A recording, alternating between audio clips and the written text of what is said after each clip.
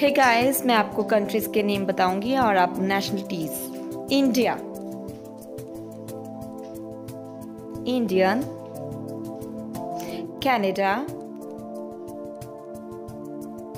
Canadian Chile